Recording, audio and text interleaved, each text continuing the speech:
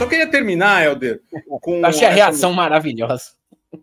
Ah, você, Leonardo, tá sofrendo. Coitado, Calma, galera. Uma Calma, nem, nem ele ligou. Nem ele ligou tanto assim. Você reparou? Nem ele ligou, cara. Não. E a galera, nossa, que vítima, coitadinho do Leonardo. Porra, até o Leonardo tratou o bagulho mais de boas. Que ridículo, né? O saldo da baixaria. Pablo Marçal teve dois processos por dia de campanha. Por falar em processo. falar é. em processo. É, fora do segundo turno é, da disputa eleitoral pela, pela Prefeitura de São Paulo, Pablo Marçal envolveu-se em 105 processos judiciais decorrentes de ofensas, desinformação e agressões em seus 51 dias de campanha oficial. Vamos sentir falta disso? Um pouco, tá? Dessa pataquada, desse aloprado, né? Mas que bom que ele está longe, que fique inelegível e que nunca mais apareça na nossa frente. Os casos espalham-se pela esfera civil, criminal, eleitoral e Marçal está, na maioria deles, na posição de réu. O coach foi condenado a oferecer dezenas de direitos de resposta e a retirar desde xingamentos até vídeos de desinformação produzidos por inteligência artificial seus perfis nas redes sociais. Dos 105 processos, 94 estão na justiça eleitoral, oito na esfera civil e três na esfera criminal. Ricardo Nunes é quem mais apareceu como autor na parte contrária, em 31 ações. Guilherme Boulos vem em seguida, aparecendo 24 vezes. Marçal está no polo passivo na maioria das ações e só figura como autor em 15 delas. É, aqui o saldo da baixaria, Helder. Em 51 dias de campanha, Pablo Marçal gerou 105 processos judiciais, média de dois por dia. Um abraço, um beijo à nossa querida amiga Maíra, Maíra Recchia, advogada aí do Bolos, né, na campanha, que teve que trabalhar muito, muito, teve que trabalhar muito, né, para estar ali do lado do Bolos contra o Pablo Marçal. Foram 94 processos na Justiça Eleitoral, oito na esfera civil, três na, na criminal. O Nunes entrou com 31 ações, Bolos 24, Datena em 12 e Tabata 11 ações aqui. Né? No total, os processos mobilizaram pelo menos 42 magistrados, entre juízes, desembargadores e ministros. Outras pessoas que processaram Marçal: Lula, Kim Kataguiri e Padre Júlio Lancelotti. Bem variado essa fauna aí. Hein? Porra, bicho. Lula, Kim Kataguiri e Padre Júlio. Cacetado, hein? A gente não processou o Marçal, Não, a gente não. Não, né? Uh, lutando contra Ricardo Nunes por espaço como candidato da direita e do bolsonarismo, Marçal passou 51 dias disparando uma barragem de ofensas. Barragem de ofensas é bom. E ataques ao atual prefeito de São Paulo. Ao longo da campanha, acusou Nunes de corrupção, Ué. Desvio de merendas, superfatu... superfaturamento de creches, violência doméstica e vínculo com o PCC. Ele usou termos como, termos como babaca, covarde, disse que o prefeito era esquerdista e tentou emplacar o apelido Bananinha. Aí, ó, mais um, ó. Vai lá processar porque vai chamar de bananinha. Tanto de crime que esse lixo humano do Marçal cometeu, aí vai lá e é processado por ter chamado alguém de bananinha. Porra, beira infantilidade isso daí. As 31 ações de Nunes contra Marçal são eleitorais e tratam de pedidos de resposta pelas ofensas ou pedidos de remoção de conteúdo postado por Marçal, quase sempre com sucesso. Pelo menos 13 deles já foram encerrados com decisão favorável ao prefeito. Também estiveram no centro das ações as repetidas acusações sem provas feitas por Massal contra Guilherme Boulos, alegando que o candidato pessoal seria usuário de cocaína.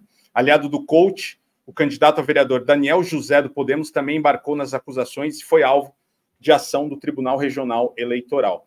José Luiz da Atena, que agrediu Marçal com uma cadeirada em debate no dia 15 de setembro, acionou a Justiça Eleitoral dez vezes e a Justiça Civil outras duas. Todas as ações tratam do mesmo tema. O apresentador acusa de Marçal de ter feito insinuações com gírias usadas para fazer alusão ao crime de estupro, Jack. A Justiça Eleitoral concedeu direito de resposta e ordenou a remoção de posts de Marçal. Aqui, Lula, Kim Kataguiri e Lancelotti e ataque a ex-servidores do Ministério também processaram Marçal. Aqui, tudo que aconteceu, você sabe muito bem, aconteceu nos últimos 15 dias aí, né, culminando com o laudo falso que o Marçal apresentou, dizendo que o Boulos teria sido é, internado numa clínica de recuperação ali para drogados com uma overdose de cocaína. Aqui está o amigo dele que deu o papel timbrado ali da clínica com um médico que estava morto e que nunca clinicou nessa nesse local, né? A filha do médico que foi citado como o que recebeu o bolos está processando o Marçal também, né? E pede a prisão do Marçal. Sim. Sim, exatamente. Então, Marçal acumulou alguns processos aí durante a campanha e vai responder por todos eles.